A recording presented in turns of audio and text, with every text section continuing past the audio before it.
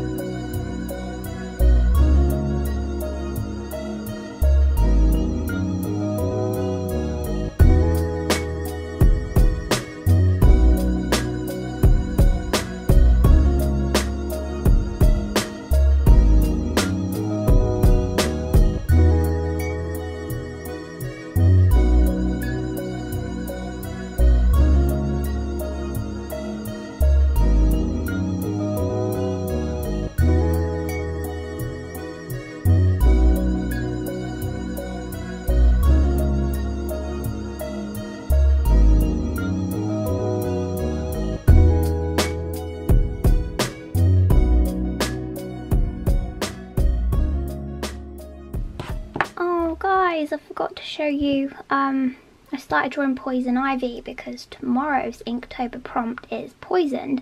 Um, I was going to go um, Poison Apple as Poison Bottle, then I thought about um, the llama poison out of the Emperor's New Groove, uh, but I thought I would test drawing um, people because it's something that I tend to avoid. It's like the main thing I avoid drawing because I'm not very confident with drawing people so I thought I would do Poison Ivy. So I forgot to get it started with you guys but I'll just pop you on my tripod and then we'll do a bit of a time lapse.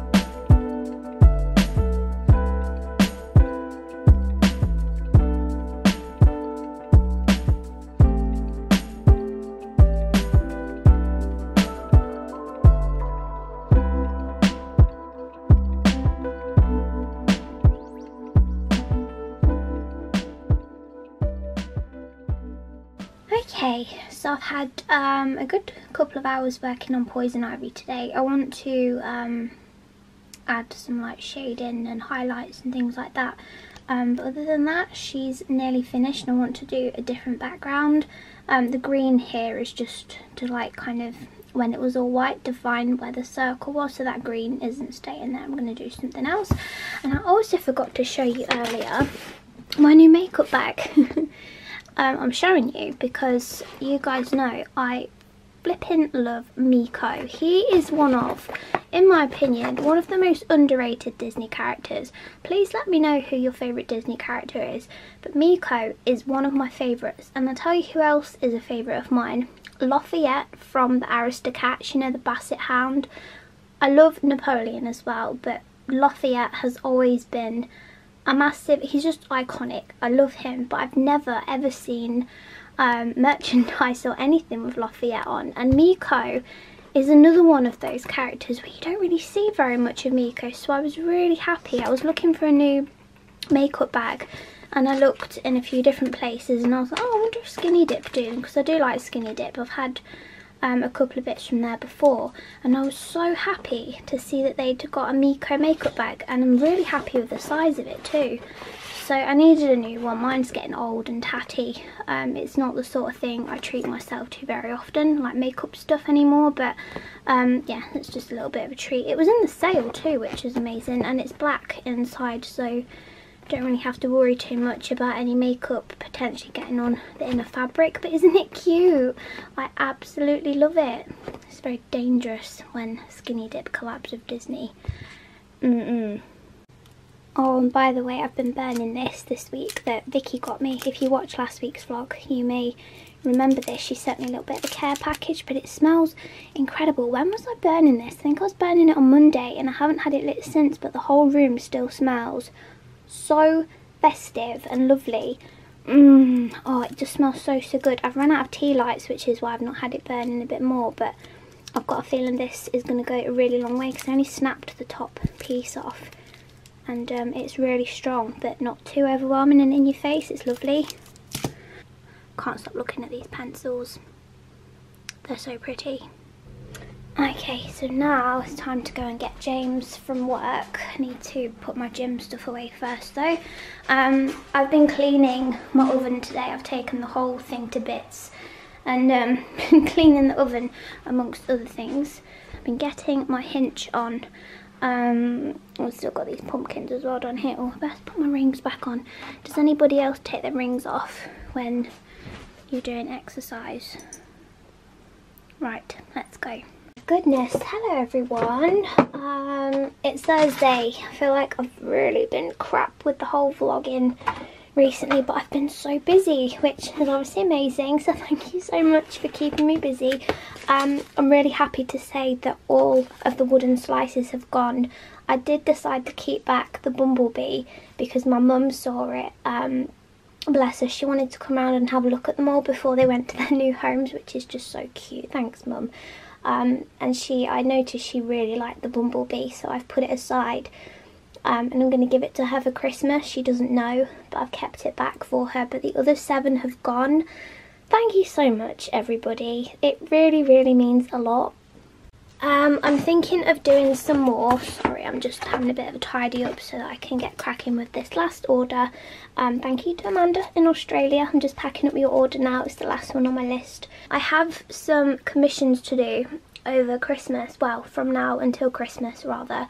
Um, so I'm thinking of doing some more wooden slices when I get chance. Oh, put all these highlighter pens away. Does anybody else love highlighter pens? Like, yes, organised me with lots of different colours. But yes, I'm thinking of doing some more. So if you missed out this time, please don't worry. I'm going to do some more animals. Um, because I'm honestly so shocked and surprised. If I just put you there actually whilst I'm making up this box then I can talk and do stuff at the same time. Um, yeah, I'm thinking of doing some more wooden slices. I'm actually in shock that they went especially this fast and it just means so so much to me that you are able to take a little piece of original art and keep it in your homes and you know just it makes me feel really lovely so thank you so much if you got one of them I was actually really emotional to see them go as well. Become quite attached to them, um, as you do with art that you create, but I'm really, really happy with it, so thank you. I can't stop saying thank you, but I do genuinely mean it. Thank you so much. So yes, I'm just packing up my last order. This one is for Amanda in Australia. Pop that in there for you, my lovely.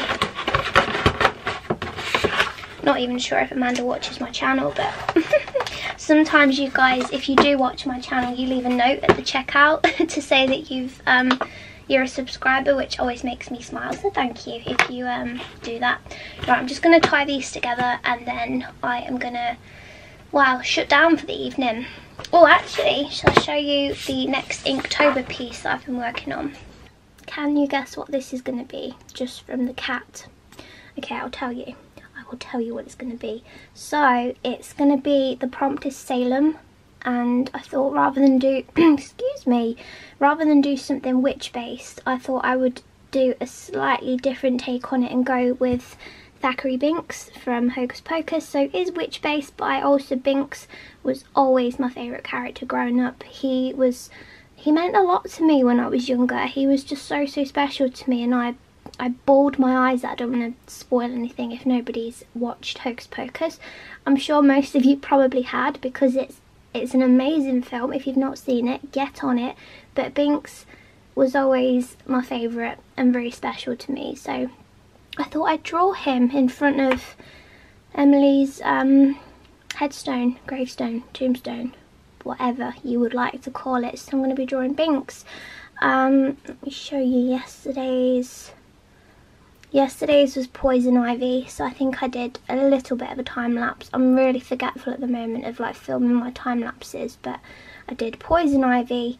Um, she was very challenging, I'll just say that. Um, oh, this one's interesting. So this was um, the day before, and this is actually a collab with Lianne. So Lianne has done the rope and the rope coming down. I've done the rope around his neck and I've done the voodoo doll and the text and Lianne has done like the gallows platform. She's done a gorgeous banner that I then wrote on top of and she did all of the rope around the outside um, and then I did the background. And it came together really nicely. Like to say we didn't actually plan too much for this we just both gave each other our idea.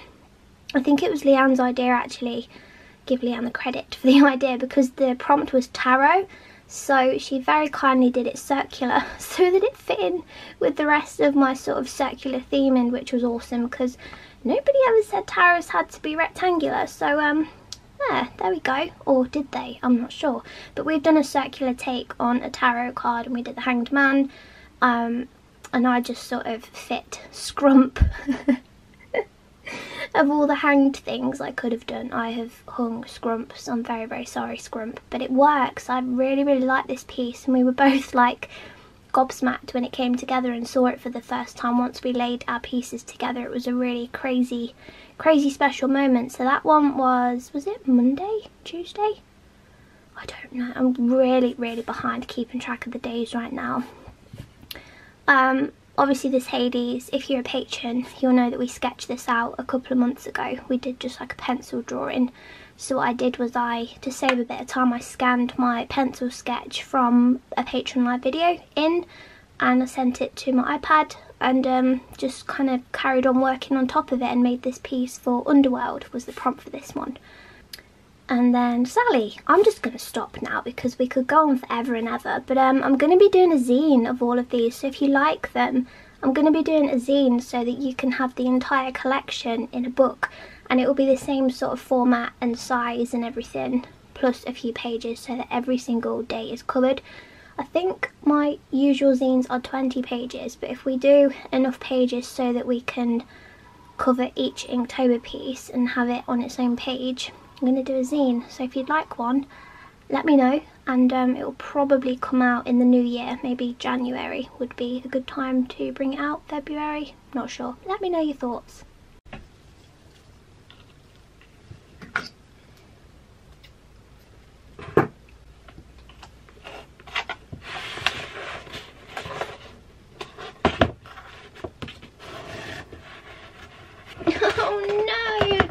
Anybody ever cut string and no right I'll save that string for another order another time let's try again there must be a knack like it doesn't happen often when I try and cut a piece of string I'm usually pretty good at guessing how much I need but there's got to be a way of knowing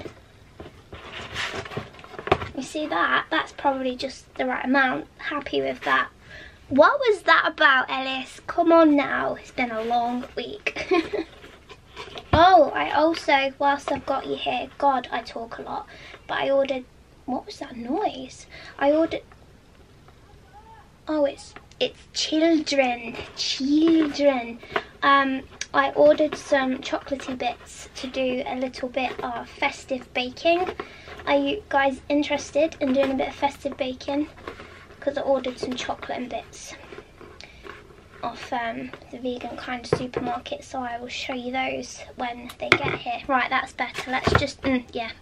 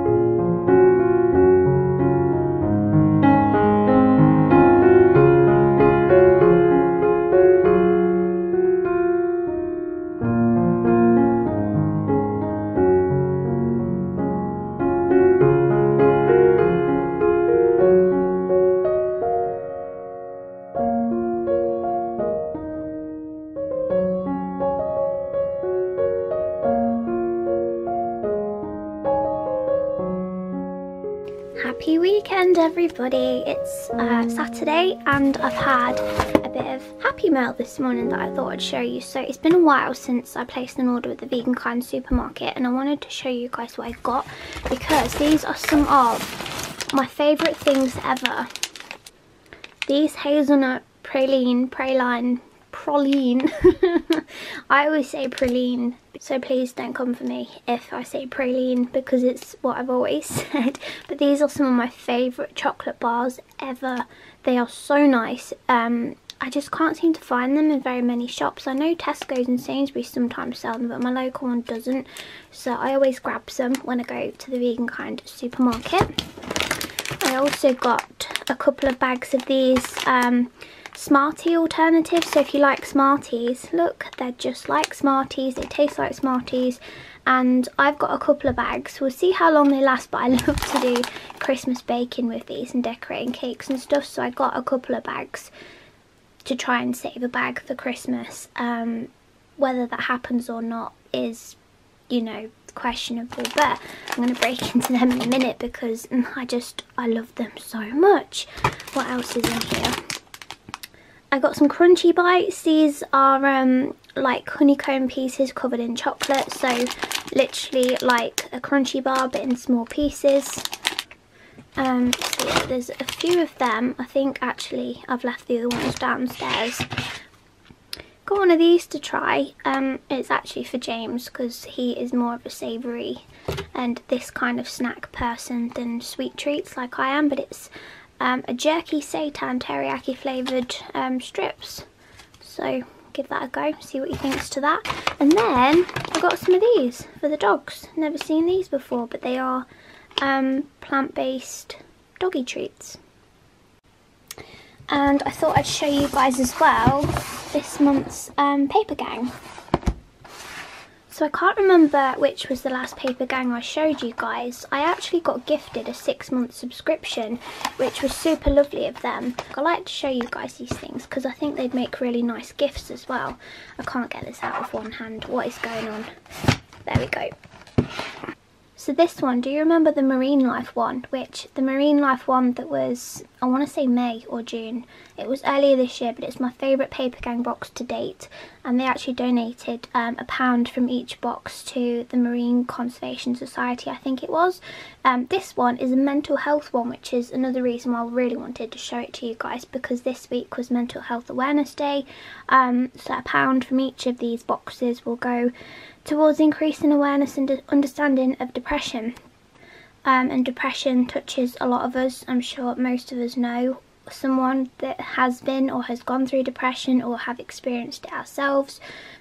So um, yeah, I think that's a really nice touch. So it's like a mental health based theme for this month. Let's have a look what's inside. So I've come to the conclusion that I'm not the biggest fan of these planners. However, like they're just a sheet of card. Um, but I have to say I pass these on to my friends because they really like using these. They're just not the sort of thing that I feel like I get much benefit out of, but I know other people do. So yeah, although I don't like it, I know other people do. But you get one of these in every single box. These things here are scratch and reveal postcards, so I think there's four. Is there four? No, there's five. I tell a lie, there's six. So there's six postcards, all with different designs. And they've all got like little um, words at the bottom. I think we should probably do one to see what's underneath. Because you scratch the gold off and there's something hidden underneath and I don't know what it is. And because this one, can you see it's already got a little bit of scratching anyway. Um, let's scratch it and see what's underneath.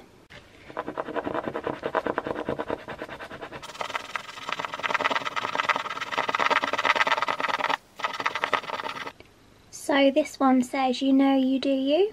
Um, so yeah, that's those. You definitely have, I think you definitely have to put these in an envelope if you are planning on posting them just so they don't scratch. But they are designed to be postcards, so if you wanted to, you could just write straight on the back and put a stamp on and away you go. Um, but I would worry, oh is that upside down? I would worry about them getting a bit scratched on the way, so I'd probably put them in an envelope, but that's a cute idea.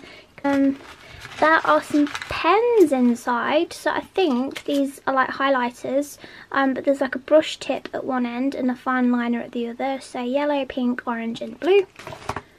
And to go with that, there is a colouring sheet at the back. It's an enormous sheet that says, trust that beautiful things are coming. So if you like colouring, that might be for you. But it's just a big fold away poster type sheet. I know a lot of people actually benefit from colouring, so it's nice to see like a colouring activity thing within the box. As always, there's like a booklet in here that tells you about the artist behind the box um, and everything that they sort of work towards. If there is like a charity or a donation to do with the box, all the information is in here.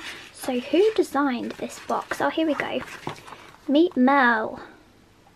So Melanie Johnson, I'm going to have to go and find her on Instagram. Her work is adorable. I love this pattern the most out of the entire box. But this is like the best thing about the entire box. And it's, oh my goodness, a really chunky book with like almost, I think it is even a fabricy feel to the front cover. But the design is stunning. It's got a little bit of, you know, metallic um, touch to it. It's really lovely. That's kind of like embossed, debossed. Can never remember which way around that goes. But inside is a really lovely layout. So you've got at the top, I don't want to bend, don't want to bend the book.